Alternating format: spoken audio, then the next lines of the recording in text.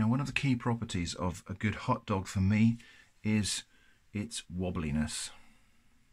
I don't know what it is, there's just something quite funny to me and pleasing about the fact that these sausages are so very wobbly.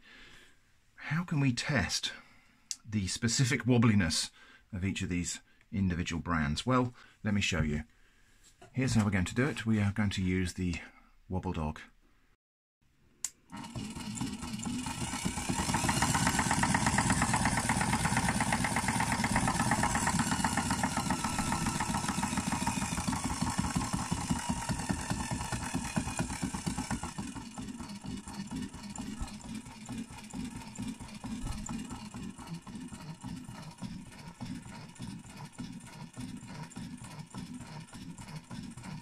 I mean, look at the swing on that. You've just got to admire that.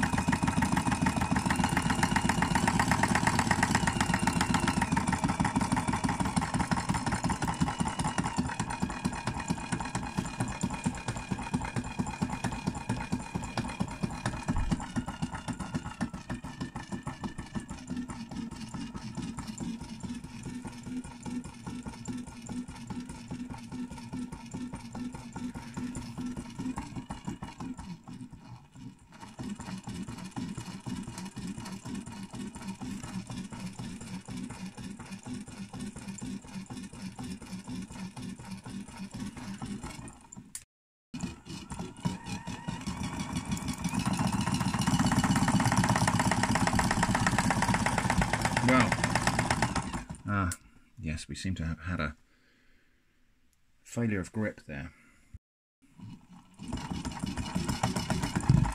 Oh, well.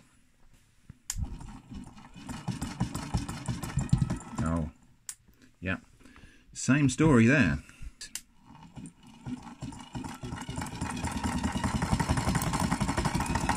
Oh, now there we go, we have a failure.